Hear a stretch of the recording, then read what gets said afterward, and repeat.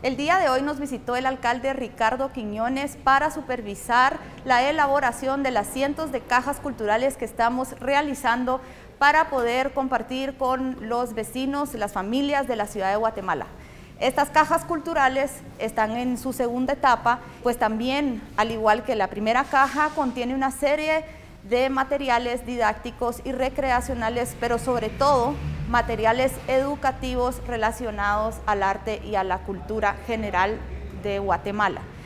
En ella van a poder encontrar eh, marcadores, crayones, plasticina, eh, gomas, sacapuntas, crayones y por supuesto muchos libros de autores importantes y libros para que sus hijos eh, puedan aprender distintos temas culturales.